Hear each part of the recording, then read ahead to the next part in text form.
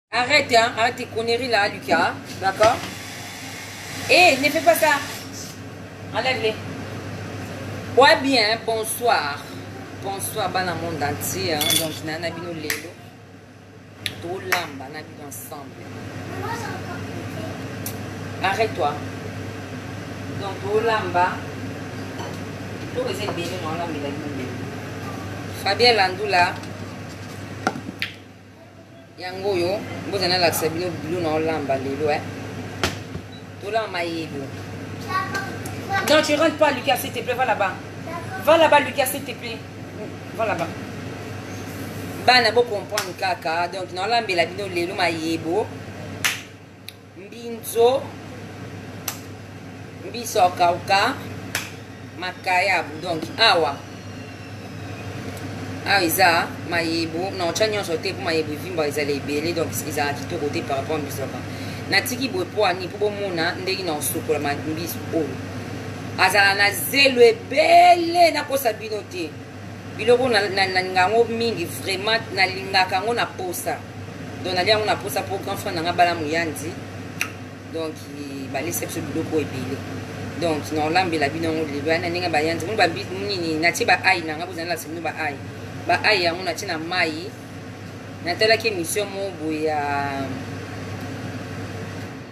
émission ya sere na biso otokufa nani ma solange ya mindondo donc matungulu ngai atya ngai atyaka matungulu boye na poso na moto so etoki elembi apo na longo na longo liposo alobaki emission moko boye asaki nini moko banda olamba ah maya ya mami ah ya mima te liyo ya mabe bon totikaka matungulu ai soki olingi olongola yango baposo bien eh donc nde mama solange ayisaka biso na miso mwa asaki ya mindondo eh fo longola yango mpe otya yango na mai elembi elembi elembi donc bomoni mbisi ya kaka oyo natie mbisi ya kaka na kati ati natiaki yango te mpona mayebo mbinzo azala na makala ala makala ebele donc ala na poussière salite zelo donc ye nde naza boye ko nakokosa bino te nakopase na bino ata 30 fois naa na passoire donc na olongole ba makala na longola ye deja me makala mosusu bamati mati likolo botala deja bomwa makala bato basombaka biloko bayebi donc là na olongole na opasse au moins 10 fois 20 fois na longoli poussière salite nyonso na passe mayebo na mbinzo donc natie na kote Choco pikli na machuda masta na nga. Bon, a mbisi ya kaka na biso yango oyo. Bomoni mbisi ya kaka eza ebele. Nga linga mbisi mingi aza mungala. Biso linga mbisi ya surtout mbisi ya kaka meza bilo na biso. Même pondu ni mbondo na chango mbisi ya kaka. Pona madesu mbisi ya kaka. Donc mbisi yango oyo oyo ya kaka na chaki ye à côté. Na yebisi bino pourquoi na chaki à côté. Ye aza na zelo. Bango mbali bazana na zelo. Donc na chaki makayebu na nga na kati. soki ozwi makayabu osangisi na mbiso akodinisi bango nyonso na kati bavanda obebisi biloko zelu ekebima wana bokoka kota olia yango te mpo ti opasaka na yo ye mbiso akokota mbiso akoka kokota makayabu akokota zelu apres mbiso akoka mpe akokota zelu surtout deja mbiso akoka so akoti zelu ah dégoûtant na monoko taka biso bana bangala dongaka bongo te donc mbiso akoka ye yo na makayabu eh? donc tola meme na mwamba boza na expliquer bino na tino à côté ba ayi na ngai yango oyo non nasali ye te système eza système ya tantine minduma mindondo ke soname repose un peu akufa na ye déjà donc nalandaki yango oye ngai atya na moto ayi yango litungulu kaka moko mingi te eh? litungulu na ngai yango oyo bozela litungulu na ngai yango oyo feuille na ngai kaka moko oyo yango oyo deux cube mange deux cube mange naotya deux cube mange yango oyo ya jumbo naotya nini na ngai oyo ya, ya, bouillon, ya bouillon oyo donc natie awa tuni je mets à côté la tomate bolanda facile facile hein toujours s'abonner get congo tv s'abonner ba biloko ya sika ezoya donc lobi na na émission mona obeta na vie na nga mo boye donc eza na local na entreprise tozosala émission ya propre ya classe bomona yango ekota na oyebisa bino place ekoti bolanda yango bomona naza nonsa émission kitoko donc propre na olata madame émission eleka kitoko delix tv na nga toujours s'abonner get congo tomate yango bolanda nga mwamba bozana azwela bino mwamba nabosana te eh. mpo na wacango na mwamba mwamba mwamba mwamba mwamba bon nga alinga na nga mingi oyo baoyo bateme na chateau rouge oyo eza esu te ekomi kaka mingi mingi baoyo me eza pareil otyango mpe mingi te ka mokie mposo otye mwamba biloko oyo mingi obebisi obebisi biloko okomisi ye lokola neti olamba fumbwa te oyo oh, fumbwa te makayebu na nga mpe yango oyo orgazi orgazi bebe orgazi mondele alakisi ka eh, abi serio oyebi ka ndenge ezala azala il faut liaka donc ovimba tu rentre pas chérie donc makayabu oyo orgazi moto alakisi ye ngango babenga yango makwala makayabu mosusu yango oyo oyo babenga yango nkombo na yango eh, Nini oyo eswaka makasi oyo nini oyo eswaka wana boyebi yango ti oyo eswaka na kini wana bateka na kini wana oyo eswaka wana nayebi nkombo nango te donc yango oyo me malgre na makayabu eza nango ebele ya bamakayabu mosusu yango oyo na ya minene ya olamba bama bon oyo nde tokolela yango lelo sikoyo eza nini toujours branché connecté get congo tv nayese bino merci na baabonne na nga considération franchement Na moni na moni ke bolela nga ya ni makwakala ya amwasi merci à toi aussi merci na ba boni na nga liboso bato ya liboso bosabona merci na bino na merci na bato pe bosabona mpo botalaka nga mai namoni bino bokomi okima bokomi odesabone mpo bosantaki boyaki mpo na ofinga nga mai bomona kaka eloko te donc merci na bino mai merci vraiment na bato basabone ya vrai donc na get congo tv mfona longola get congo tv donc ekoma Josiane Orgazi Mondele. Donc YouTube eko maboma mission ya bien pe ekala mingi te ibando ya na. Lelo nde fodo lamba. To lamba na bino mais pona ngana lamba na bino fena na bino na YouTube. Pona ngana kata bino na koti siko na lami na YouTube mais bolela parce qu'il faut bozala bomona. Bomona mais bref passoire yango eh. Mingi mingi passoire faut bosokola biloko bele. Mwasi matungulu faut sokola ye. Matungulu atoka olokole olongole ba poso boye. So olongole c'est comme un bébé. Il faut pese bain, il faut sokoler po aza attendre na nzungu. Tango kata ye avandi matungulu po dosimba maboko matungulu yo tiba pesa mabe. Ba poso olongole ayo ezo kati matungulu te, il faut sokola matungulu. Donc mwamba yango wana na to mwamba mwamba yango yo C'est bon ba ayi na ngai mingi mingi nalinga ba ayi ezala bio eh bio yango oyo natie mpe na ebele lelo natie ayi ebele mpo orgasme talakisi nga ndenge otyaka ayi ayi etretaka amibe balibumu bon na poto omela so bakisi mais ayi eza eza traitement moko etraitaka en fait etraitaka corps ya lokola tangawisi Tangawisi so omoni okoka omela yango boye te ne fiske so ozali ta otumba poulet okati tangawisi otie ah ozonga nzoto donc mingimingi yango wana voilà sikoyo nzungu wapi nzungu biloko oyo tuta eza te donc nzungu yango oyo fo topasse mpe kaka nzungu donc nyonso fo opasse na vie olamba osala boye fo passe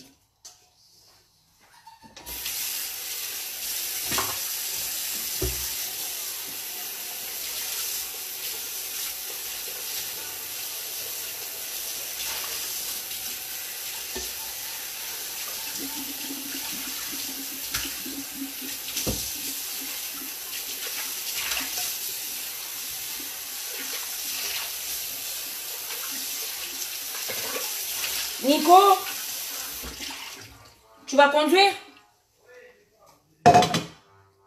Eh, mon amour, bête à volant, donc mon amour s'agite. Oh, n'y a ta volant, dès mon maman. Oh, mes kamika siko pour la ninga maman. Donc, mbisi ya ngoyo. Na esi bino mbisi nanga funa passer bina lo ngano ba ai nanga yi. Na tse ba ai mingi te na tse ka 3 ou 4. Na ete so bomo nanga na na obinga ngamu to obinga.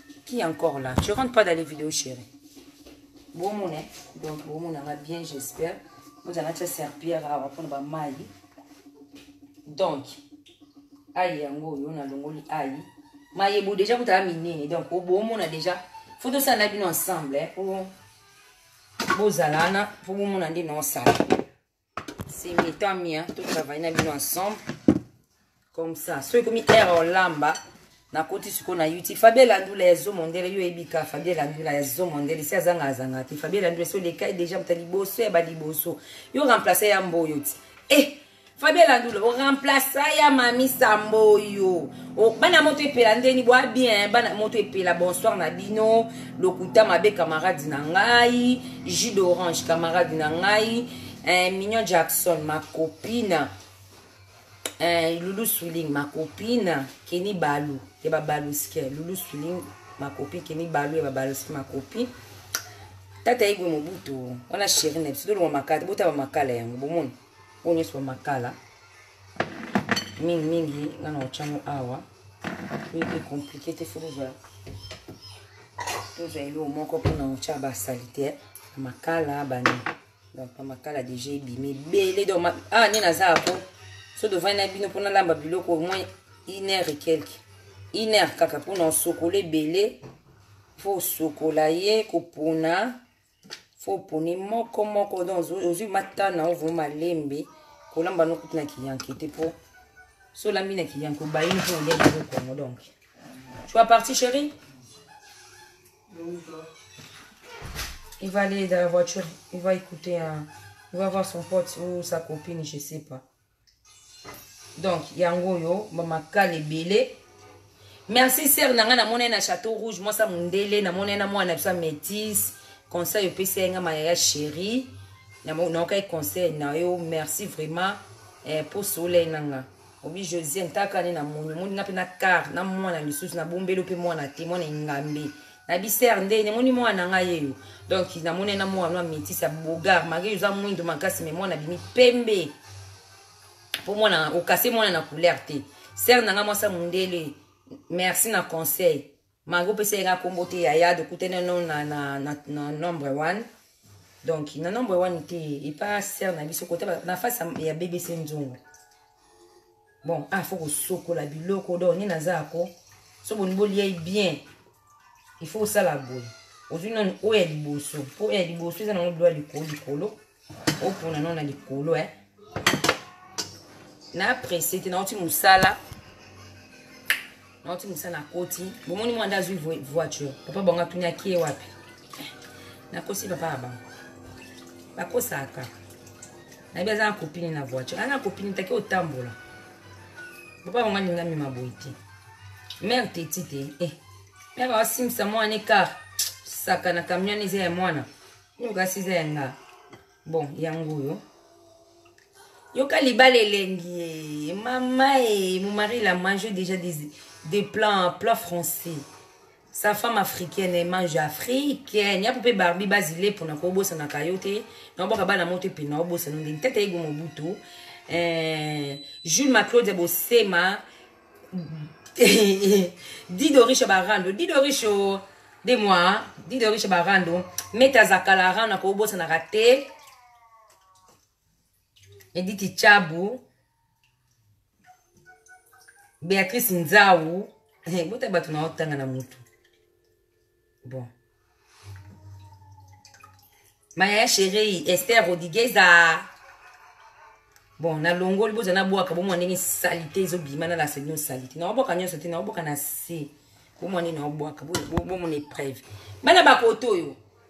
bana bapoto ye bana biso bacongolais bobotama awa des enfants d'ici des enfants d'ici boya otala tata ndenge olambela bino comme ça vous préparez ça avec vos, vos, vos mari bolambelaka mibali bana bakoto bana babotama awa bolambelaka mibali bosalaka baménage même ya de travail oza fatigue je sais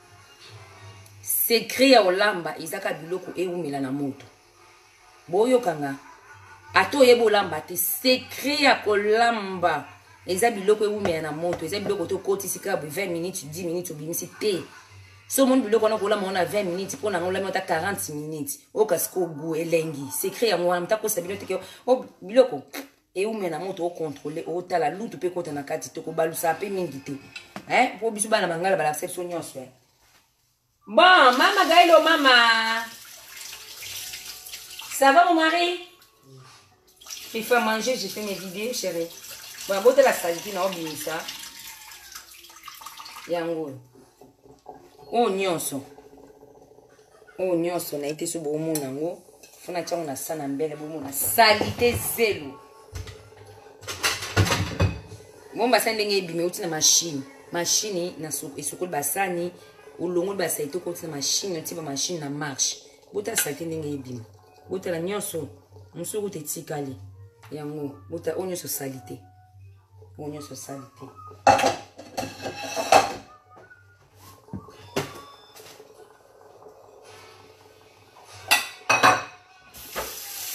donc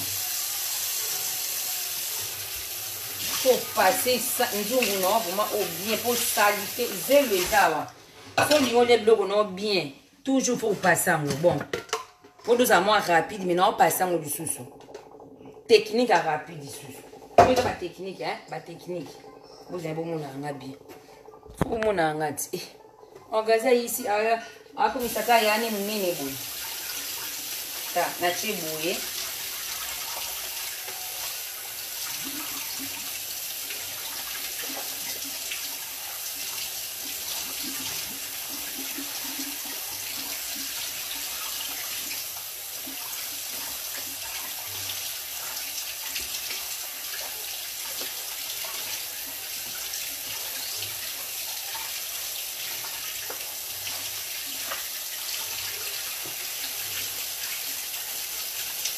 salite zelo poussière ezokweya naomona yango na sani ya mbele natie sani moko ya mbele na kati so mai echange te tala mai echange te mai eza kaka noire mai ebimisa biloko ya noir donc salite kaka ezobima na kati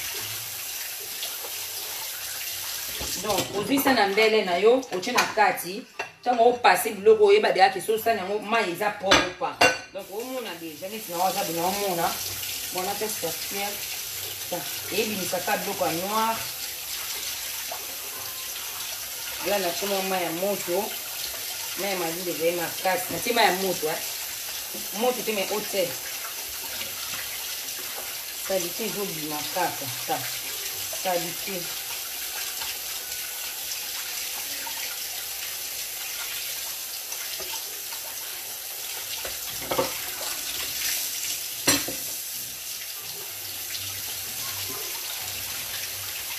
bon na pase nzungu naotondisa mai nayesi bino mpe oko pase yango naotondisa mai na ondo soki nini yango soki na sopi na kati na pase mpo zelo ezalaka bongo soki otie mbisi otie eloko moko omona zelo ekita biloko etika likolo donc bozela wana yana ba bilo ka ba système ka ba technique na biso hein yo tokenda ti mosika te mpo ngai alambaka mingi te eh, nalambaka tro te naliaka mpe mingi te menga mpe kolia tro te mais so nani nalamba nalambela bino bomoni nzungu na ngai yango otala natie ma mai plein presque plein plein plein donc nazwi mbisi na nga banini na nga mozila nabwaki na kati c'est pas grave yango oyo donc nabwaki nyonso na kati yango oyo ekiti na yango mbinzo emati likolo bamakala mpe yango naomona deja bamakala o makala naomona basinga banzete nango na biloko ebele liboso likolo nango yani makwakala ya mwasi ye biso obala ye yoka biso vie elengi nga fai nabala nde kongola bokelengi ekolo nini muluba muluba mibali ya miluba mibali mabe me na baa moluba na lela baluba mabe me ok ekolo mo boye to nazali mwa moke na ndo olinga bango te bandoki bon yango oyo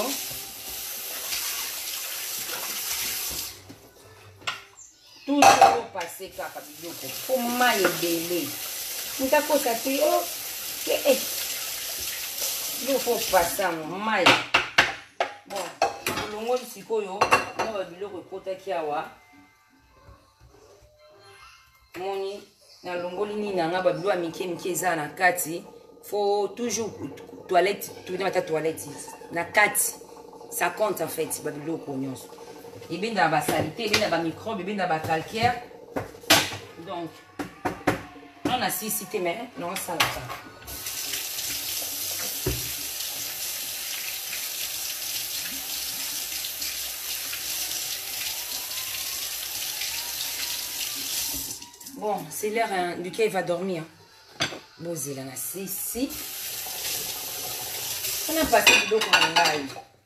Eh, nani na bino awa so oyo olembi akei na ye otuna na video otuna na eking te otuna na falipa bon tolongola mbinzo tolongoli nao mbinzo dotie awa mbinzo yeyo nalingi kutu betise na mbinzo mai mbinzo yango abimi moke boye fana asumba ebele nayebi ete nalakasa ye mpe avimbaka ti Oui, avimbaka bien sûr. Mais a moki. Donc, mayebo mpe na otia nyonso te eh, mpo mayebo eza ebele e donc yango mayebo mpe aza mayebo aza na zelo fo ofungoli ebo omo nde eza boye ofungoli awa oniki mpo aza na zelo ya makasi ye azala na zelo fo nika yoka biso eh. beatrice nzao tozwa ya yo deja eleki na mono elekaka te beatrice merci na appel na yo eh. merci namoni considération vraiment moto moko babengaki ngai abe aza na orly aza na besoin mona nga ser moko bokomeli yanga nde nkombo te adi aza parmi mes fan na nga merci na orépondre olobi na okomelo adresse oyo amona nga donc yango oyo botani na eh, beatrice botani na sokola mbisi mai mai kaka yango ta no nakoti na mbisi ya kaka te baa nabandaki no nasali te nakokota youtube youtube sikoyo nakokata bavideo en fait nakosala ndiraki boye te nakosala ndambu ndambu ndambu après nicolas asali montage bomoni ndenge nalambi place tokomi na suite place tokei toujours get congo tv donc euh, on est là donc euh, moi je suis là moi je suis là vie na nga beauté image beauté image donc euh, mutu na nga rita boumela on est ensemble faut passer nini bien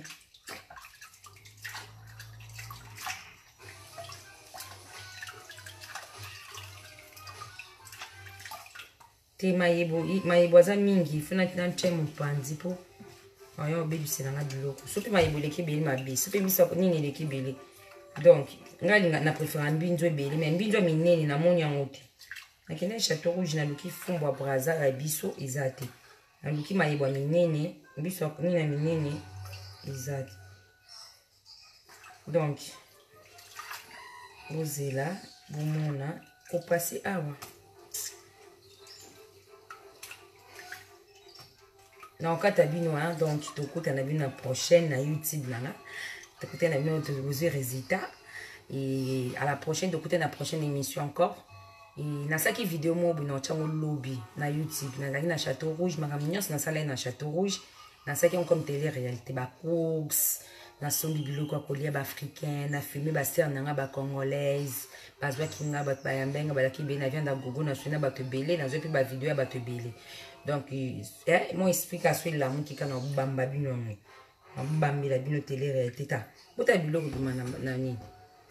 oyo eza biloko outa na banzete biloko ya mboka e eh, yango bateke obali mondele nde okolia biloko ya mboka te yango bateke obali nde mondele nde okozanga mbongo te mai non nayebisi bino nayebisi bino bon bientôt c'est noël hein? bonne année bana baoki bavacances tozoprofite na biso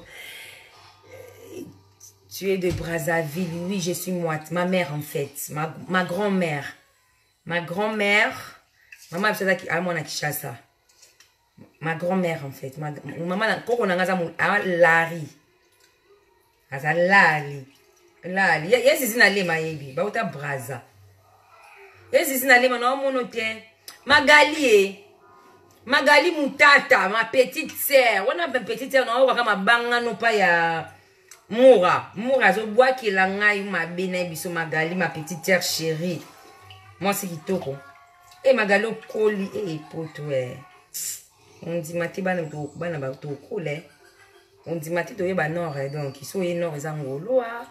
mais fo beta carte eh, so beti carte te mitali yo ah. mon mari ya pas de chanson pour moi il est mon fils il dort ma fille elle est où ah bon dans la chambre au fond botala su basaki ndenge ebima na se na sitala basaki na bambinzo na banini Nionso eza salite. Niketa a fait la piscine alors. T'as aimé? T'as aimé ou pas? Oyo eza nango ba mbinzo. Mais eza nango ba mbinzo te so bolanza ngo bolie ba zelo. Te ba zelo na sending eza. Ba zelo ezo bima kaka. So bolanza ngo bolie zelo. obalanda yango to kobwaka yango ya mike mitono bon etikali bolimbisa ya bolimbisi na tika na de tour donc tour moko ya opasse na passoire e deuxième tour otya na mai apres na silisi na oderange suta mpo dotye biloko oyo kasi bomasuku neti olamba donc là c'est bon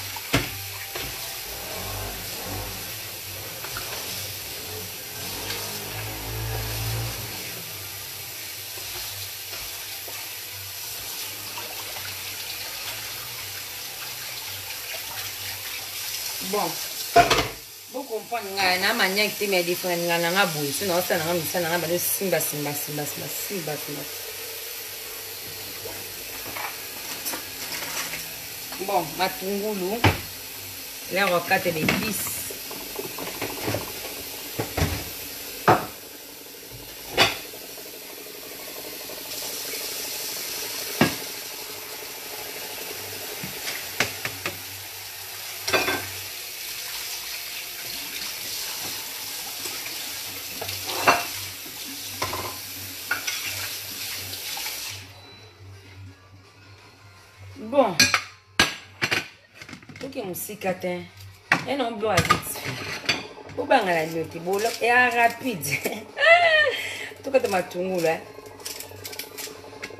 j'aime pas ces, ces oignons comme ça jour hein. ça c'est bio non julien c'est qui a acheté nico Voilà, c'est bon. Bon, na melongi nyonso. Na melongi nyonso, hein.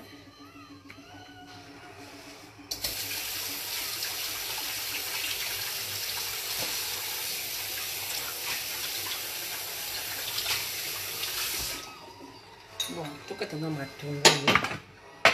tokati matungulu boga soki nayesa bino nde na osala chaprite ya suka na mafia tozalaka na gate mpo mwana asengaki aza na tosa na gate mpo gate c'est mieux enango video normal nalela bino blanc blanc e eh, blandine osakuma ya sheri yoka yo kishasa elengi yoka ye azodondwa na kishasa e kishasa gu e bakenda te barata bayanga nini bayanga nani bayanga inox soki bayanga nte inox te bayanga noir bayanga noir mba liboso naloba terme ya boye ça m'intéresse pas ça mais eza na succès bayanga noir baya te barata baya te binemi ye bopakola bakarola ebele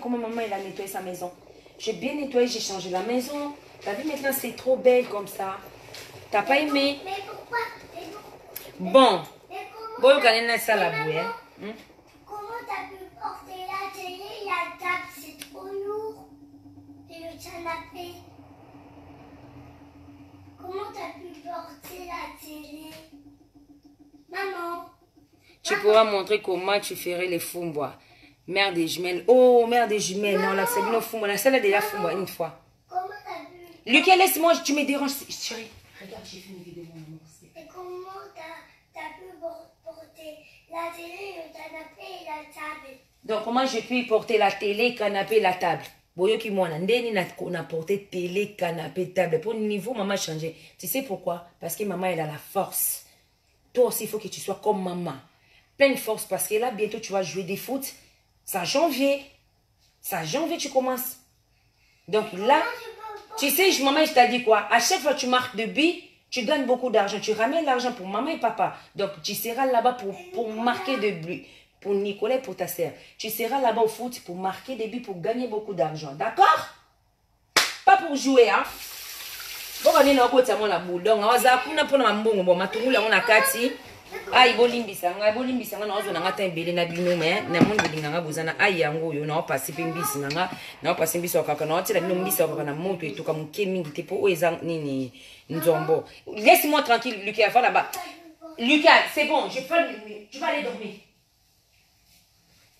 bolimbisa désolé hein, parce que c'est des enfants c'est comme ça donc naozwa mbisa okauka eza deja opete eza nzombo te eza nini ngusu te eza nzombo e, bon nalinga mingi mingi nzombo ngusu nalinga yango madeso ya pembe donc eumela nango te naotyaka na mai ya moto natokise mwa moke mpona aza na poso mafuta donc mafuta mpe eza salite fo kosokole kolongole salite nyonso to biloko fo kosokola na esimi biloko eleki koumela na biloko sekra olamba biloko opase ye sekra olamba biloko eumela na moto moto akosa bino teke opo olamba biloko osaka 10 demi te biloko olia yango na bia ata oyebi kolamba te mama bana bakoto ata oyebi olamba te tika biloko efaa na moto tika yango etoka ti soki omoni kaka naza pre te bakisa 10 minutes likolo bakisa esu 10 minutes banda obakisa mwa kasi sekra biloko yango wana donc la mbisi na ngai eyo na olongole bozala na boko matungulu oyo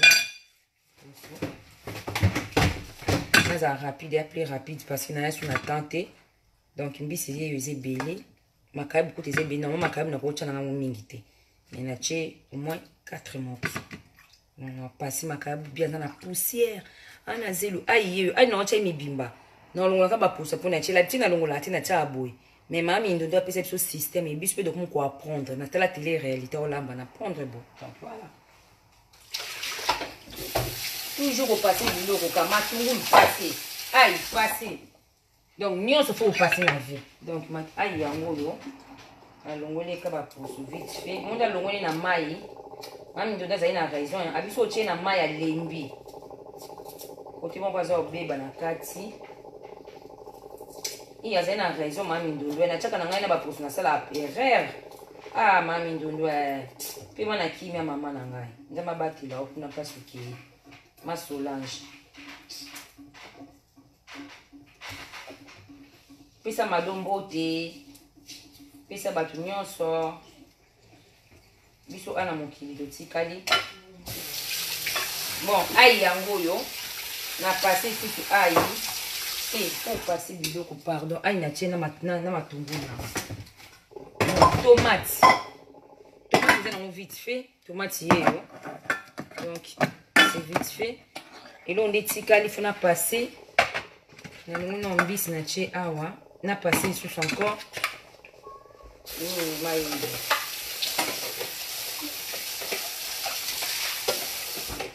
bon bolanda bacrobasi na ngai te bino bato boza na ndako so bolamba boza na bino concentré bokobola nolamba bino malembe mokopasi no biloko bolanda ngai nini naosala saboye te donc oyo eza na mwa video omona bato mi baza so osala video olamba akataka baparti aprepare deja matongolo atya kote baaya atya kote biloko atya kote te ngai alingi bongo te ngai bozala na ngai nanu esplikaka bino nanu yesa bino ke te sokola be kosokola te matungulu kati be kosala boye te bon matungulu na kati mike mingi te na kati lokola biso mo bashungu ndambo mo normal bamisu balinga minene ndeti ngai boye namoni minene ngai ngai mike mike mais c'est pas grave donc c'est pas grave atikali boye a eza wana Esike ka biloko asuka to passe ye oyo nde moto asala moto baproblème mpo soki yo passe mabe biloko go olie te tala tolie na bino lelo bokota na youtube omona nde naolambela bino semu te semu te wa ekwanga kwanga eza ti nana kwanga e eh, nana kwanga nasimbe bakwanga mibale na chateau rouge yoka vie na bi o oh, yosmika mibale namoka bato baozo ba 10 ba 30 ba 20 ebi yaya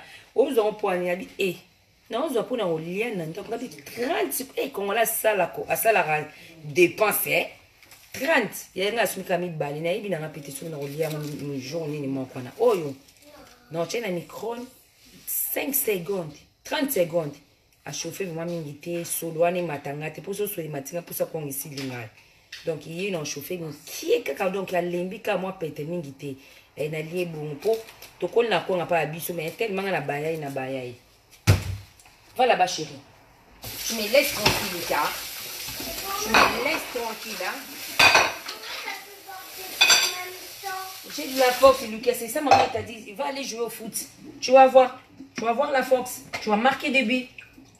bon mbinzi oyo eyo biloko na ngai nzambe asunga ngai nzambe ye na oswa na bino biloko na ngai pasani bien mposo na lie na bazili na osika mabe na passe bien obe na bakisa lisusu mpo koloba mpe eleki mingi naoyeba te so na passe mbala ebelo mabe eh. tu joues avec ton père toi hein? Bon, yango nasilisi na ngai.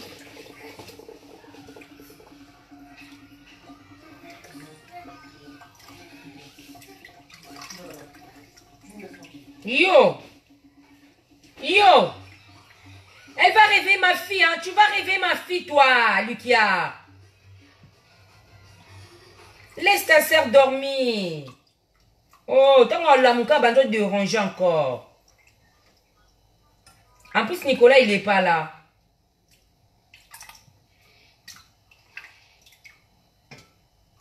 Bon, c'est bon. Mbinjo yango oyo, bozela, po oyo, bozela ta non, soki, faut otala na se, so mo ba zelo, seke ape zelo tikali.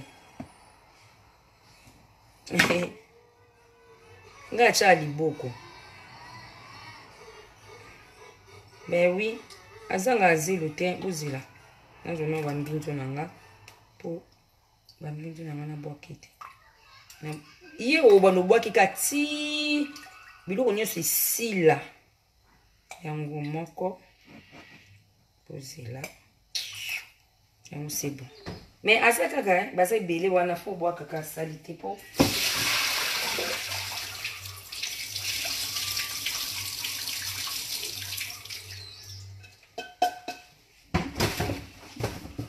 eh, mama e bon mpo kana explike bino naosala boye na zoni mai ntango bino bonduza na, na cuisine Bo compliquer na bino te. Ozwi ka sa na mbele, otye pembe. Tango o passe, ozwa ka ba salite na otya na sa na mbele, ka na mpanzi. O passe, otye no awa. O passe, otye tye te. So etondi na yango, ekomi na yango ebele, tango osisi o passe, ozwi nyonso oyesa nini? Pour obwaki.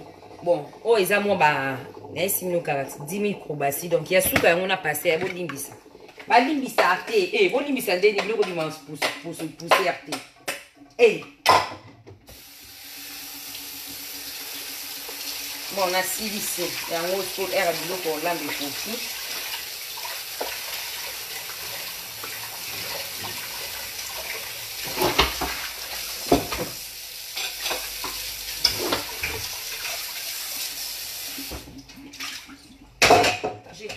serviette, Julien.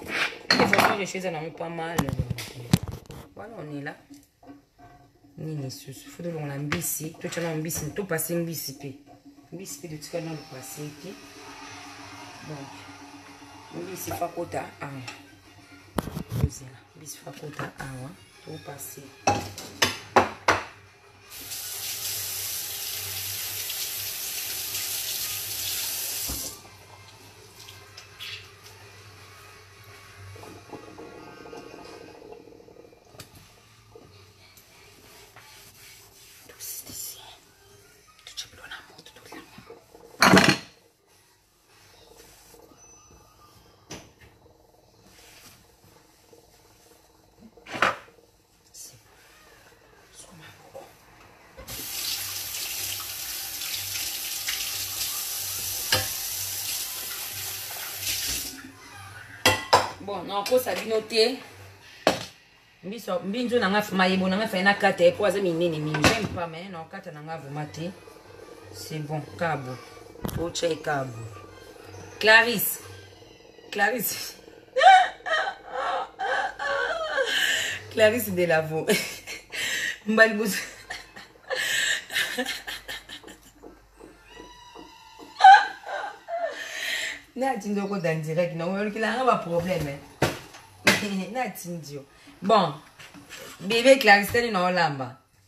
natie natie biloko nyonso kasi oyo abomyanga libala natie mbinzo natie biloko nyonso tu awa naoza paswa na clarisi lobi bon eh, eh, eh, pardon nayo obebisi makambo munoko ekangama ta natie biloko nyonso ana paswara eh? makayabu yango oyo naopasa yango nano mpo na poussière mpo na otya mbisi akoka na moto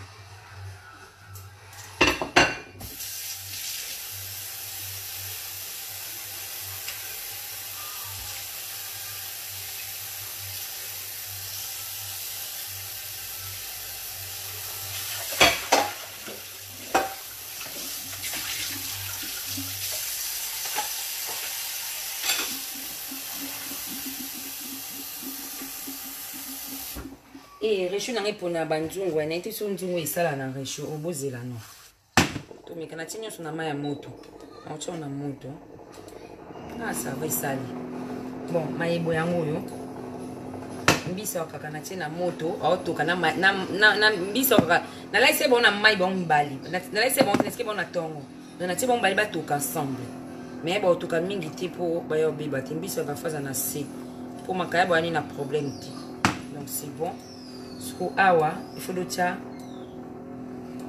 ozi awa fo natya biloko nyonso mbala moko tu tu tu tu donc matungu nini ai na ngai yango natya na ngai ai mibimba soli mpe oyebelaka biloko nayebi ifo ai mpe toka so ai elembi te clarisse tu peux quitter s'il te plaît toi je t'appelle et là osali boye natie boye c'est la première fois namona page na ngai des fois tu me suis aussi toi la folle donc natie biloko nyonso na kati matongo natie mingi te mais c'est pas grave tomate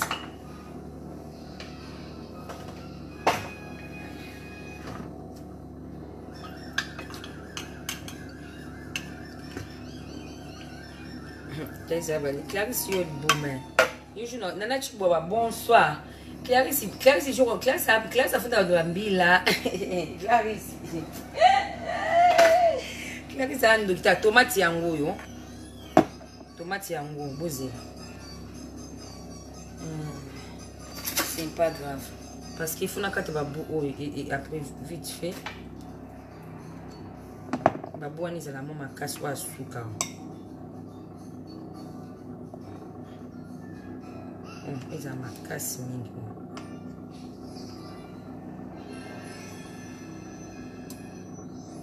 babu oyo ya makasi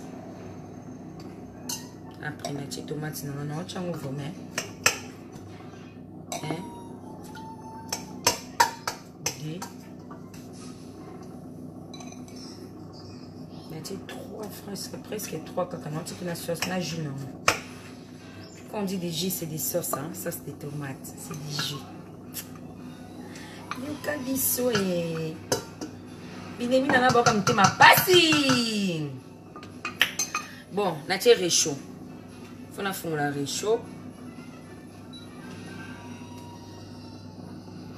natie 10 nazwi toujours ozala na mesirete na yo otya mai na otya mai ka oyo moko na kati bokomplike te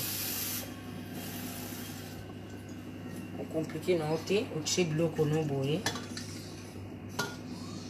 ya mokie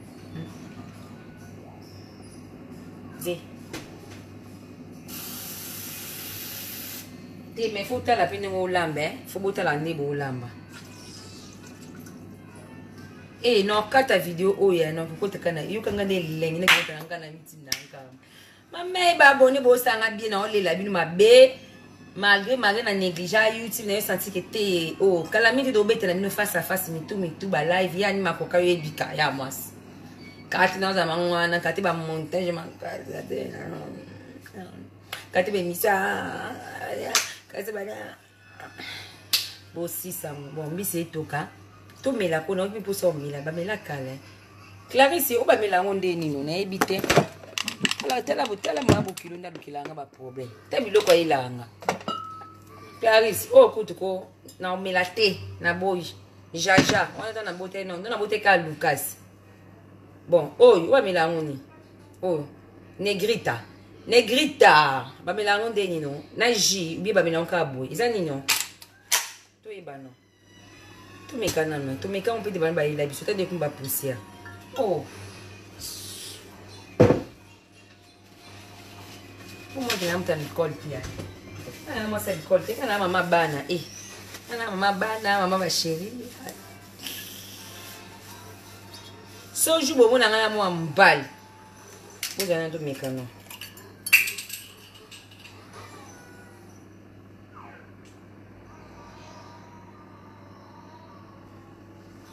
C'est bizarre ça.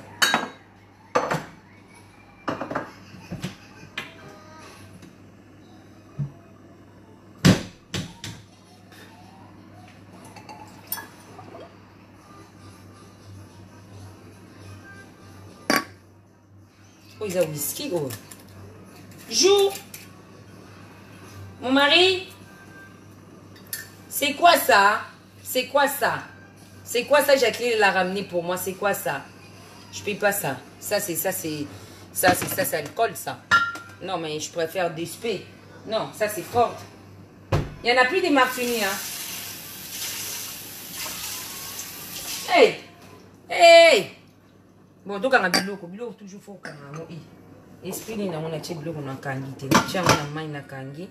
Biloko, il est au cas. Donc, tu es là. Vous avez longo là. Ozela. Na bosani, hein. na bosani ba cube na nga yango yo, ba feuille na nga yo normalement fona tia pour bilo musu na yo bakisa près. Donc, ozela. Hey, maboko ekomi nga malili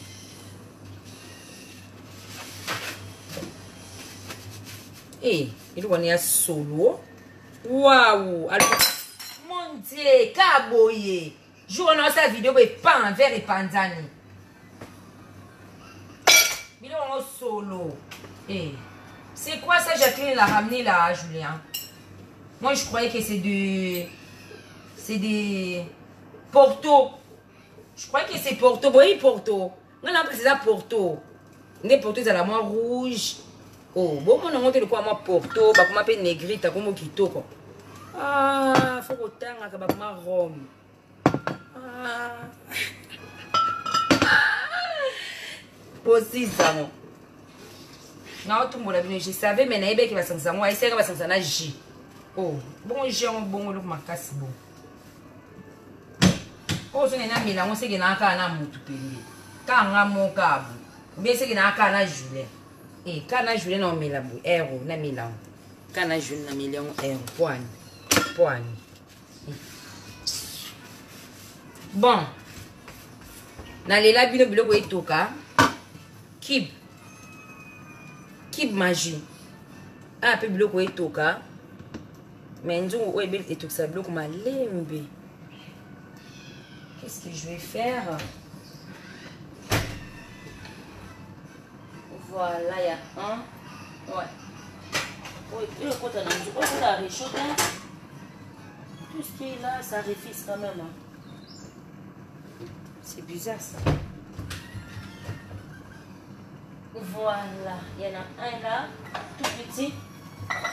c'est pas grave tout petit c'est pas grave oyo nde ebelisa biloko rapide po eitoka te na nzungu etokaka te na nzungu ewumelaka ebelisa on a passé ka mai puis bien esalinga bien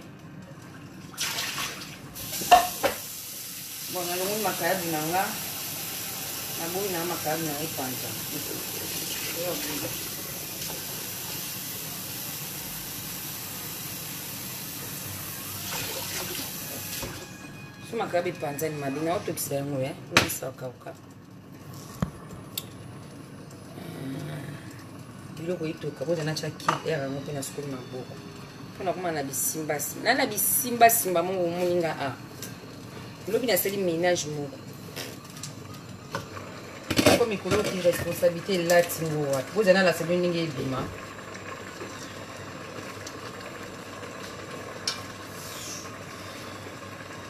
mon garçon T'as fait la piscine, t'as mangé Il a mangé ou pas bakipati bana mboko baliaka te bani na ye balie bacordon bleu ta mange cordon bleu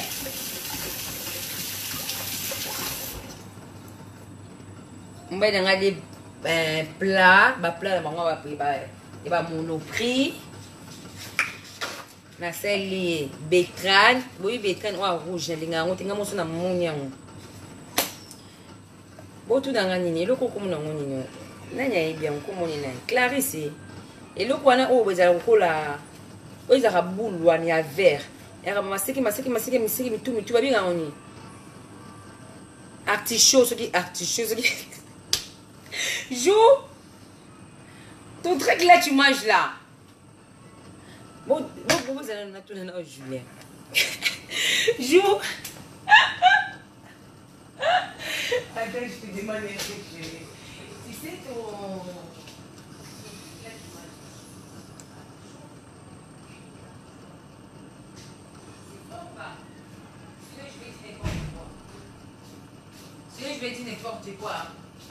Hein?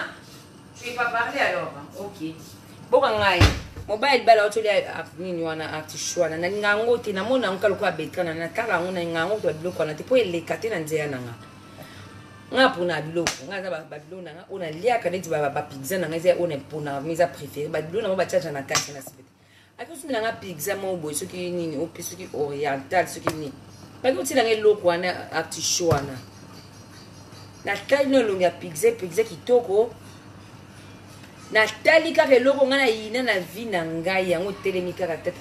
Papa t'a frappé, tu sais pourquoi papa t'a frappé Va dans la chambre de ton frère, va aller dormir Lucas. Quand, non, euh, quand tu fais des bêtises, va aller dormir dans ta chambre, dans la chambre de ton frère. J'appelle Nicolas tout de suite. Passe-moi le téléphone de papa, j'appelle Nicolas tout de suite.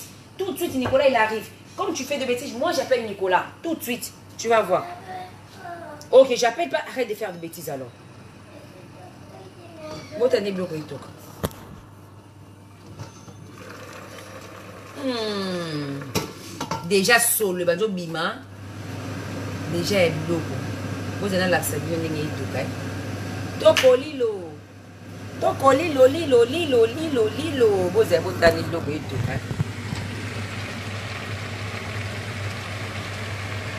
omoni biloko etuka omoni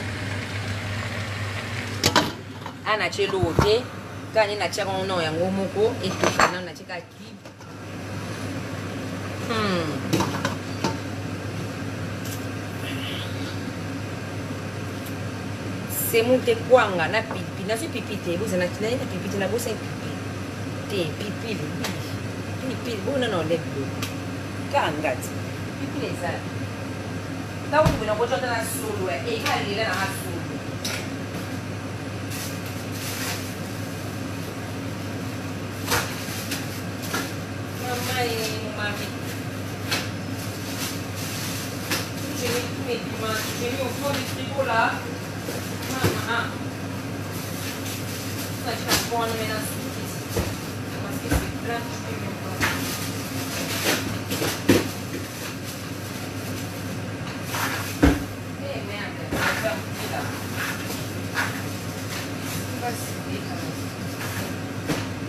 ferme pas ekanga esu te bisimbasimba pipile yango oyo pipile yango oyo hmm, botala mbisi ndenge etoka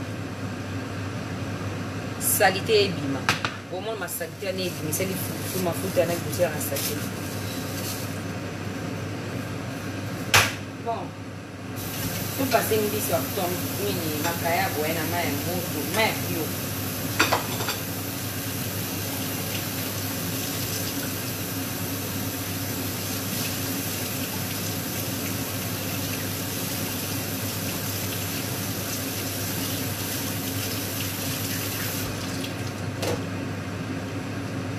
C'est bon, mosala esili, tala mbisi yango oyo.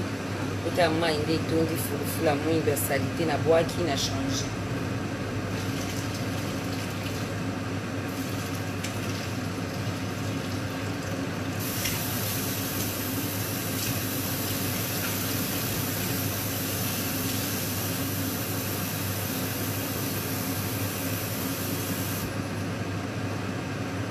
bo compliquer na mitena na ba mbisi musu na frigo na congélateur normal la petite boye okosomba no pe belé boye ba misu ba tia na maya tia na maya kati kati kati kati kati yango po tia na congélateur te ngai asoma kaka mibimba boye evandi so ju mosusu nani nalamba yango ya pamba na tiango pilipili na kati nabokelango kaka mwa mbuma tomati ju mosusu nani mpo mbisa ngai alelyango bongo ngai alinga mbisa yango makasi donc naponi mpe jour mosusu nazwi kaka mbisi na ngai ya bongo nazwi kaka dongo dongo ati mibale kaka misatu kaka kato miki miki kobwaki eh, lia mbisi oyo kabisa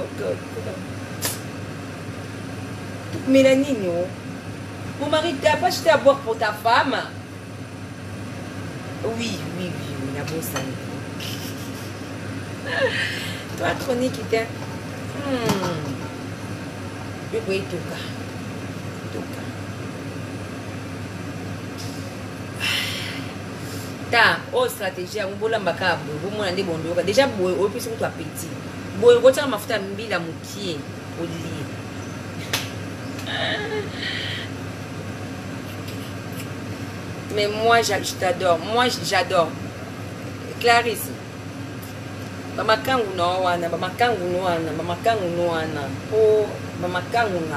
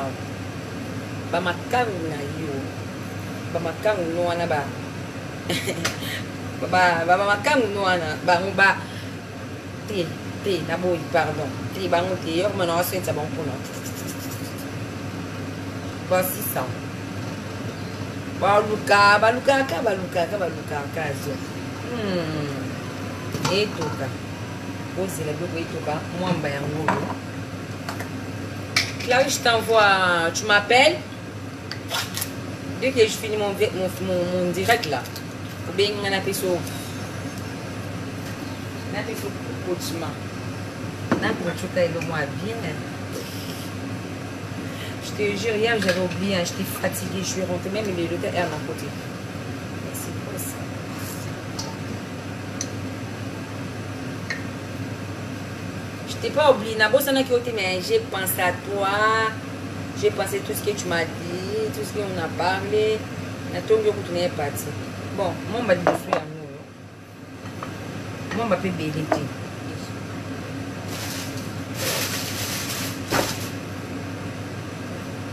bon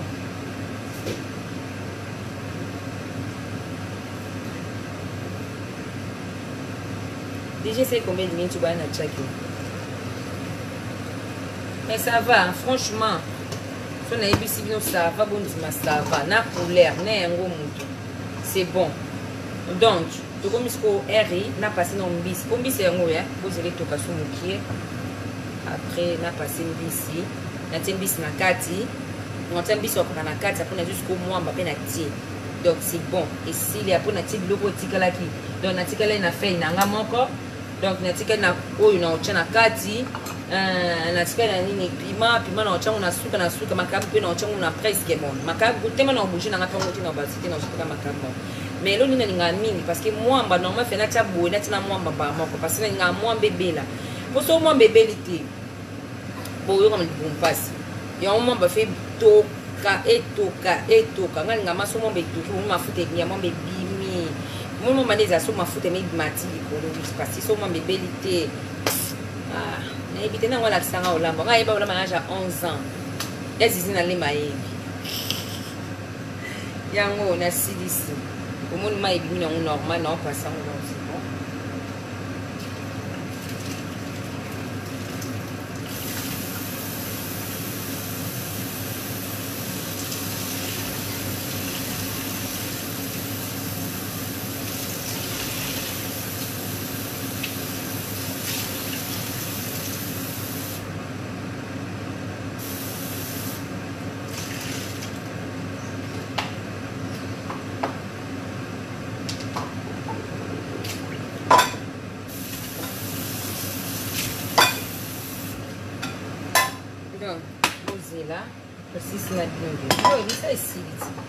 mesi naumeli kutu kaka mpo bino motu naoswana bino mesi na nasisi ekolamba kala ero mpe nalie deja kaka na engana ke youtube mwana bi mama osala kutu bandira kisu te keke asala na youtube balibwaka nga mona asala montage na bi te topesa no bami bafani gua eh, bayoka mposa nanu mpe nde basala mbisi bakaka yango oyo so bato bayeba nde balongola mbisi te nga alongola ma babiloko nyonso to mpo bato balia yango te eza banini bon bozela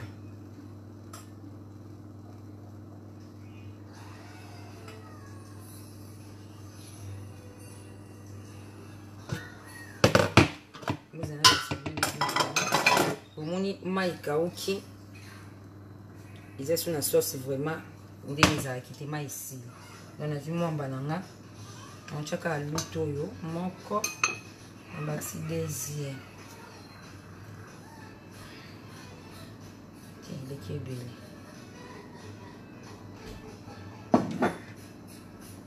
bayabi parce que soki eleki mingi esalaka bien te na biloko ekoma lokola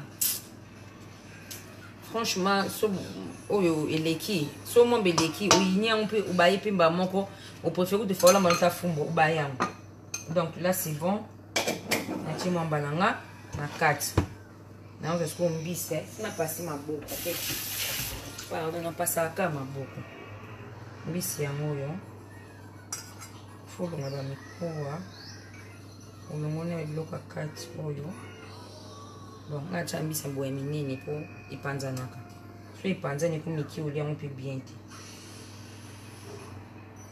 donc la folongole neti oyo olongoli ya donc là c'est bon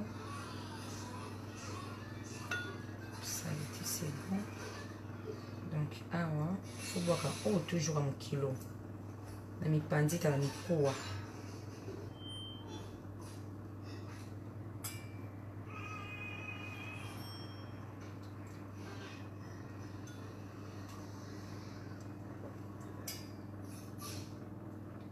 nakolongola mbisi mikuwa ça va namoni bato ebele baza interesse na ngo c'est bien bazalaka interesse e biso bakolisa biso e e biso bakoli bambeyambeya te mwana mado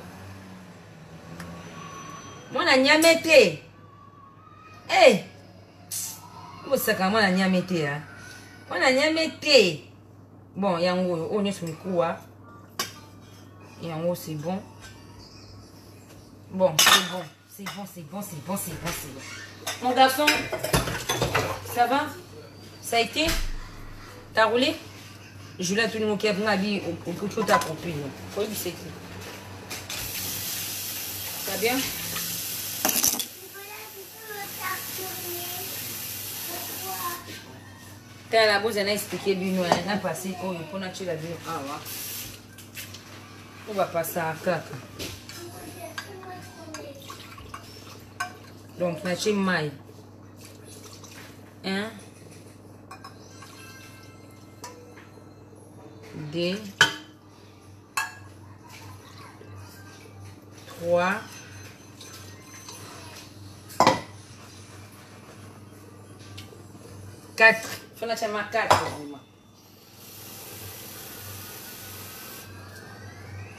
Quatre.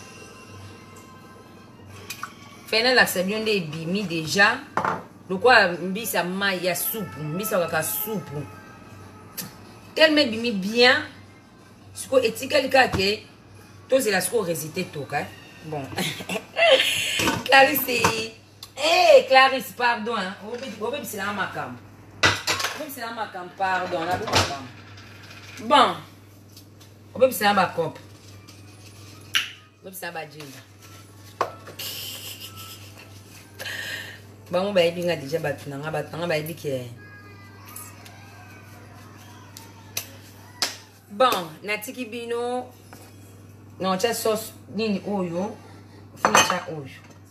mbala mon kaka mpona omeka mungwa so mungu ekoki te nga linga oyo ezebi natiaki deya deux kiba natie na oyo nga atyaka mungwa na biloko te j'aime pas atyaka mungwa te c'est bon biloko etoka bor esili oyo eke frigo bor esili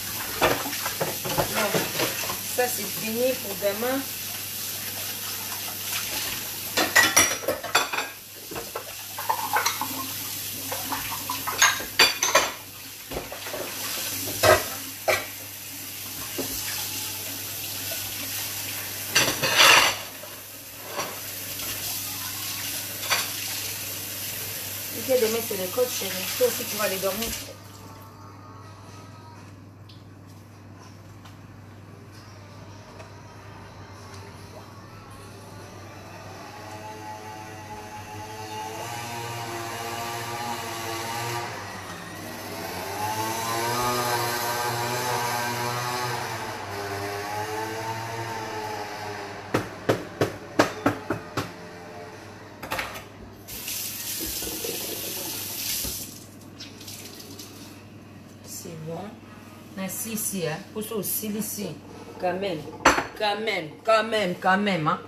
na na flemme te nga azalaka na flemme so nalie so nalie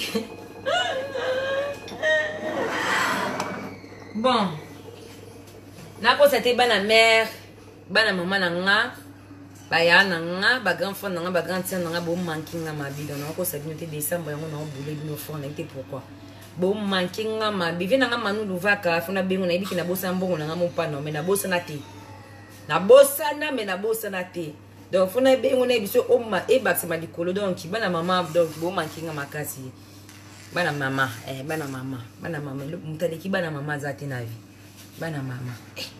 Mwana mama na yo, mwana mama na yo aleki tout na vie hein? donc voilà. Mwana mama aleki nyonso na vie.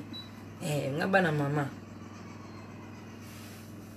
Mama na nga pa manki nga mais voilà, fala zala na vie. Na liesa ye. Allez na été. C'est la vie. La vie continue. bon eza nango épisode ya suka etikali mai mposa nakata bino mpo nakende na ngai nasa makambo naa nango besoin sisi naokata bino mpo eitoka biloko eitoka naokata bino résultat deuxième prochaine oyo ya résultat suka ezalongo kaka na youtube wana moke kaka yekisa moke biloko etoka na olakisa bino toujours sabone get tv donc nalela bino baope bofininga sympa grave fabio elandula zo mondele